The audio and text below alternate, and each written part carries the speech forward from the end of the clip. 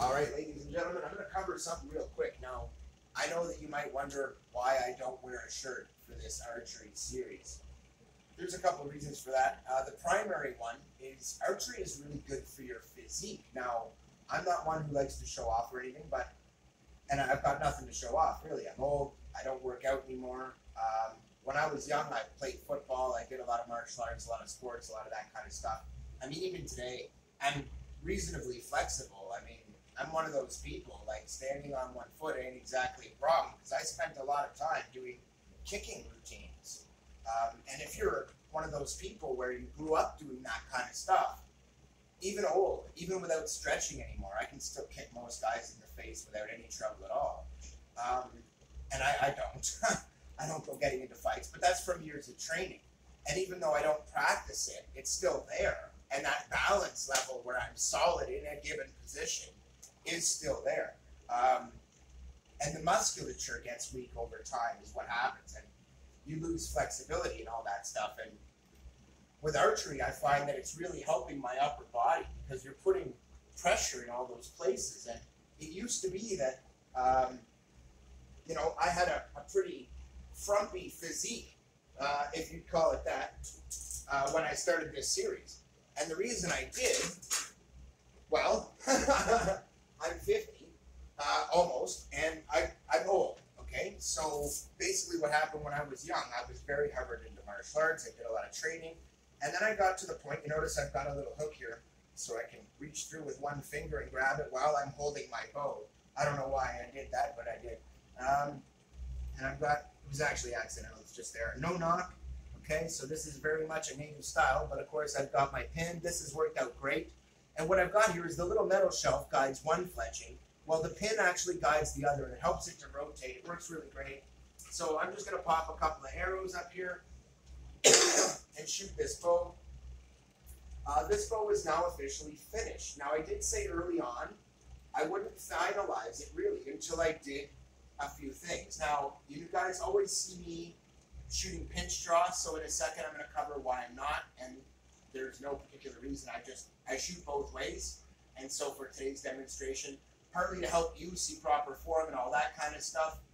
Uh, I can't even really see the target right now, so I'm actually going to put a separate light on the target for me and try and put it off so it's not affecting you guys, but I can actually see. Uh, and so that's good. Now that I'm set up, I'm going to verify my bow.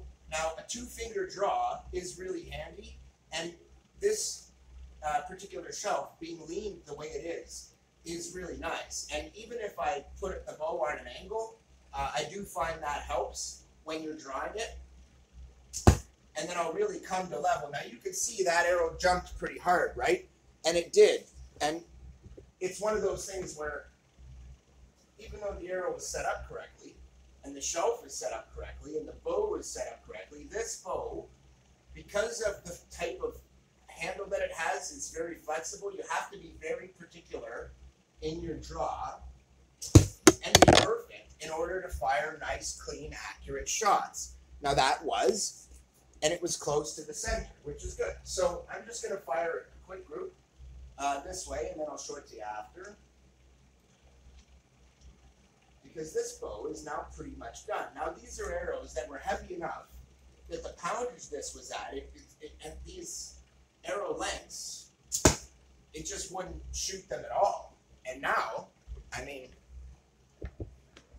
I can shoot right at the top of the target. They just come up really nicely and have no trouble hitting anywhere on it without really having it be any kind of trouble. So I'm just going to shoot here. And that's on a, a less than full draw. Now, this bow is capable of a 32 inch draw and is right around 60 pounds at that point. But at this point, with this short a draw, these are 27 inch draw length, I think, or 26, depending on the arrow I grab, in draw length. And that's about all I'm getting there, okay?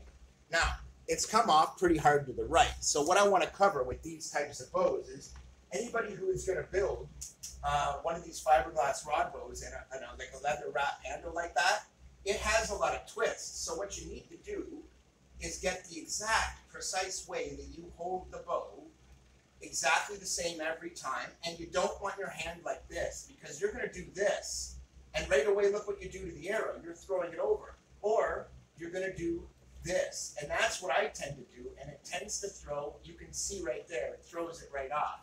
So watch carefully uh, on this. I tried to give you guys a bunch of draws without me really paying attention to it because I know what'll happen from shooting with it. I have to be incredibly precise and smooth. But when I am, it suddenly starts to get a little more accurate. So I love this bow partly because it's deadly quiet. It's so quiet.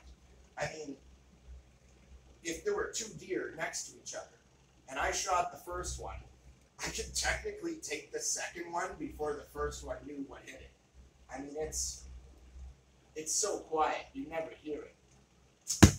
Now the trick is, I just have to be accurate in my uh, draw point and in my aim, okay? So I don't want to make too tight a group here, but I'm going to show you each one after I shoot it, and then I'll show you the technique. Now, one of the reasons I don't like to wear a shirt here is partly because it interferes with your seeing the effect it has on my physique over time. Clearly, if I was wearing that, you wouldn't see that. Partly, I wanted to shoot to see that I can shoot these fairly accurately with a standard draw, because if you think I can only do it with my draw or whatever, the bow is made for my draw or whatever, it's not. It's nothing to do with that. This bow build is standard. So what I'll say is this nock is broken. If you have a nock that doesn't pinch the string, you can still do a two-finger draw. But what you want to do is grab the back of it. I like to do a three-finger pinch, though, and just make sure it's firmly planted. Now I'm going to level it. I'm going to draw, and then I'm going to go two-finger. Not quite. If you, yeah, because if you don't, like I did that time, it went way off to the right and was so far off to the right, I knew it wasn't going to be anywhere near the target. But this is going to fix that. So hold on. Let me make sure we're in proper alignment here. In fact, these ones, I'm just going to shoot this way, guys, just because one of the reasons I like my draw is it's so much easier to do that. Now keep in mind, I don't really want to ruin my arrows here at all. But any shot where I'm not exactly perfectly lined straight and very carefully lining it up, lining it up, and holding the shot, it's it really won't be very accurate at all. What's hilarious about that is it won't really matter what kind of tip it has or what the fletchings are like. None of that matters anymore. These are all good fletchings. The tips are all, the arrows are all balanced and shot many times. They work very well. What you got to do if you want to make a nice tight group and be accurate is be able to hold it very steady. Now the problems have come in several places. One, they tend to want to come up and down like that. Without a nock. it, it really makes it more challenging to hold it in place. Now, one of the reasons I like traditional archery without a nock is because that is the traditional method. But that does not mean that I cannot punch the target. And this is why I like my method. Traditionally, I find for myself that I am more accurate with the two finger draw that is a pinch draw and releasing right there off my thumb. So this one, because it has a proper nock, I'm going to fire that way as well. But also, oh, that was beautiful. But I kind of nicked another arrow coming in, which is unfortunate. You guys probably heard that. And it kind of came off to the side. It hit here, but it was coming for here and it hit one of these and went and hit right here, right at the uh, sorry, right here, right at the edge of it, and then went like this. So, you know, I'm gonna reshoot that one, but you guys get the idea. I mean, it's fairly accurate. Uh, in either draw case, I can draw both methods, and it's very accurate. I do like this bow. It's been really great, which is why I'm showing it to you now. I did say from the beginning, I don't really recommend that you build this one if this is, you know, if you're trying to build yourself a good, reliable bush bow, don't build this one. I built this to practice my longbow drawing technique and my general shooting technique. That one was a little high to the left. And what I'm trying to show you here is that it can look perfect. You can have the right draw. You can use smooth, proper technique and draw lean to the side, and make sure that I'm really aiming And look at this. It might look the exact same draw from your perspective as the one that punched the middle of the target, but I assure you, it is, except for the alignment of my hands. With this, the amount of flex it has here is just way, way too much. So again, I prefer this method. It's one of the reasons I like it because it helps you to keep more steady. And even if it does come off, I just did it quick to show you. I generally get it less off, even if I'd make the same error, than it would be if I was doing it two finger over under. So I, I do like the pinch draw. Now I'm going to do it properly, and then I'll show you the difference.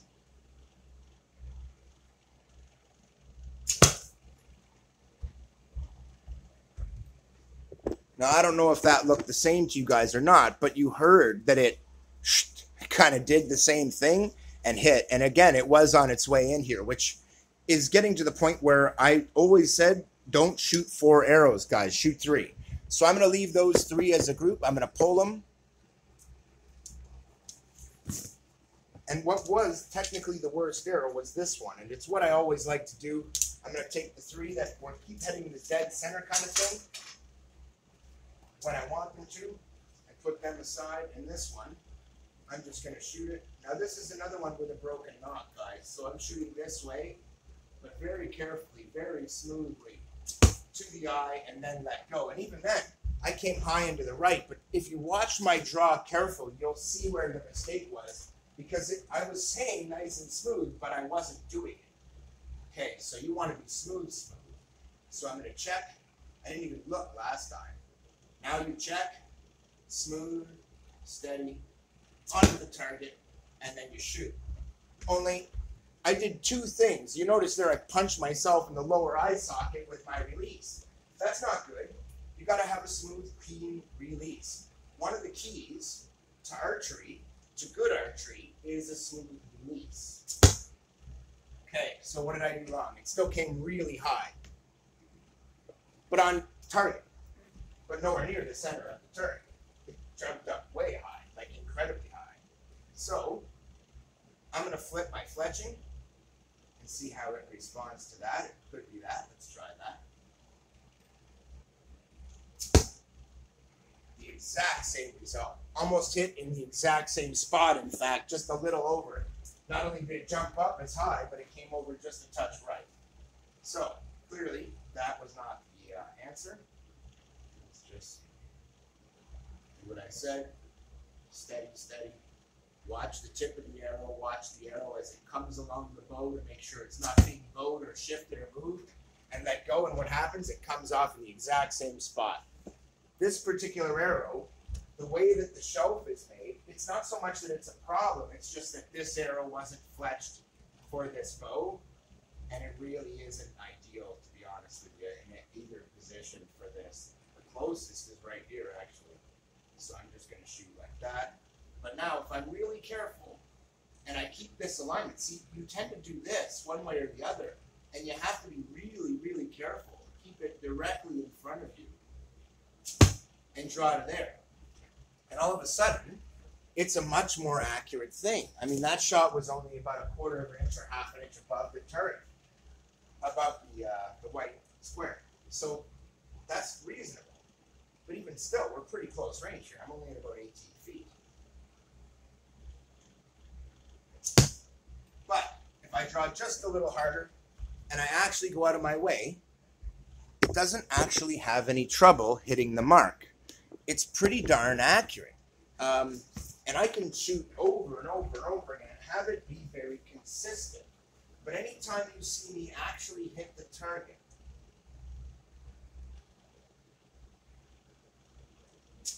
it's that. I have to really draw very carefully and point very carefully. But even then, that draw wasn't a hit on the target. It was a miss. Because it may have looked good, but in the end, you have to be perfect. And I didn't even check my height. Because there's no nock. Doing traditional archery is so much harder, guys. And it's one of the reasons that I like it.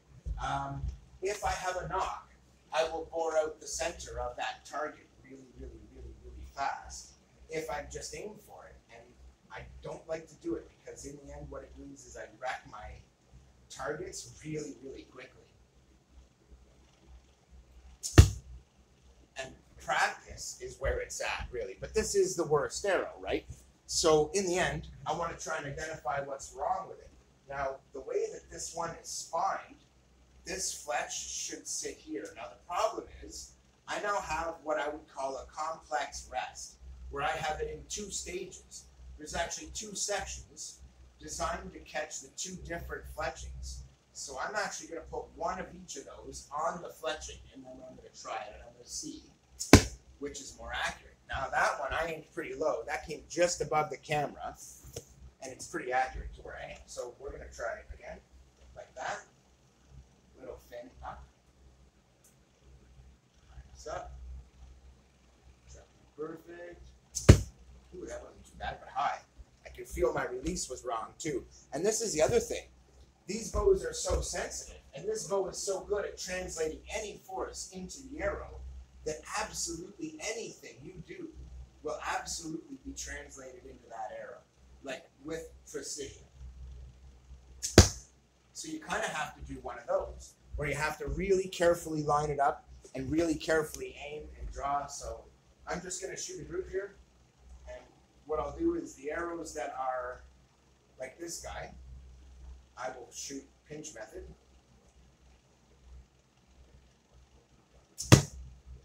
Ooh, kinky. That's a good start. And and I'll do those ones first, actually.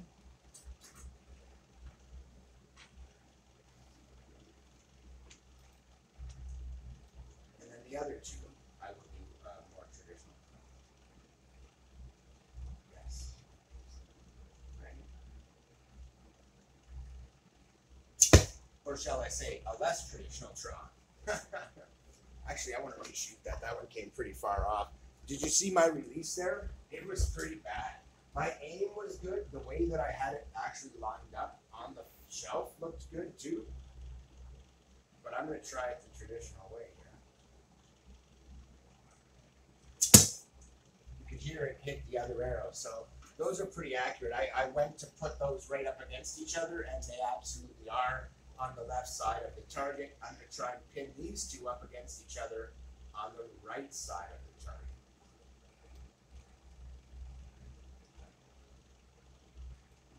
Oh, sorry.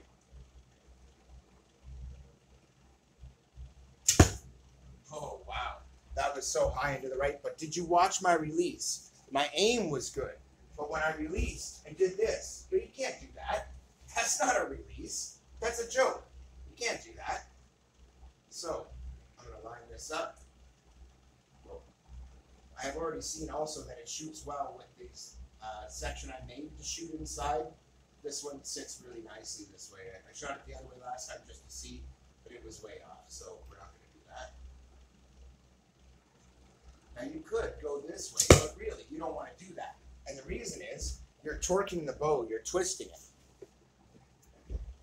And this is the traditional problem with the, with the with the method most people use. Okay, when you do a two finger draw, you do this. You draw and then you pull it over to your cheek. Well, now you're way off. And when you let that go, it's going to be way off. And so what you need to do, if you're going to practice that draw, is change your stance and your hold position, okay, from what you would do if you're doing a pinch draw. So I'm going to stand so the bow is to the side of me, rather than native style where it would be directly to my eye. Okay, I'm to stand to the side. I'm going to hold it the way I designed this bow to be held is in both positions. So I, I like this bow a lot. It's one of the reasons it's my favorite is because I set it up to shoot any way I want. And I can draw it in my eye. And I aimed right over the camera there, and it aimed dead center in line with the camera, believe it or not, and just right pretty much where I aimed it. So that's a good sign. I'm going to aim it now for the white square.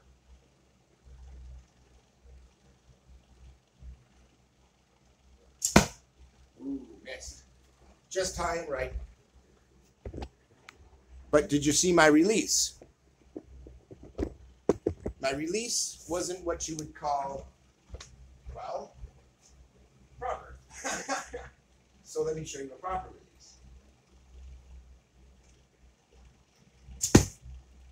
Okay, only I still came off a little bit and it went into the exact same hole. And the reason it did is because I did the exact same motion on my release. Pay attention to that. I've always said if it's true, it's consistent, it's scientific, you'll be able to repeat it. So I did. But this one, I took a little more time, I took a little more care, and I tried not to come off to the left, but not to hit my other arrows. And it came a little high onto the target, but it came pretty much in line with the other arrows, nice and centered. That's pretty cool. I don't really like to get too close to my other arrows, so I don't ruin them. But that's just to show you guys. I mean, your technique is everything, especially on a bow like this. And it's so good for that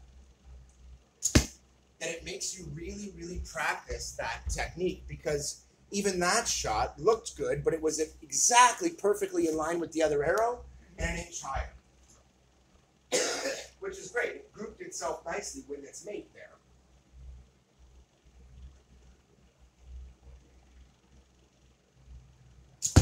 And it's really important. You see the pull I did on the release? Look at the result. Way off, high and right. Why? A lot of guys are doing this, so I wanted to show you guys. Because my natural release before I started training myself was like that. Uh, and I was at an arrow camp where I was being taught the professional kind of methods, guys. And so what I will tell you is, um, this is, I when I'm shooting two finger, I start like this, three finger pinch. I line everything up, I draw out, come to my eye, and I fire my shot, okay? Now, I did the same exact pull off release high into the right. And what do you see? High into the right. And it will be like that consistently every single time. The difference between this time and last time was I pulled hard. But there's nothing wrong with the bow. It's not the nock. I don't have one. They didn't come off on the wrong elevation drastically. I didn't screw up that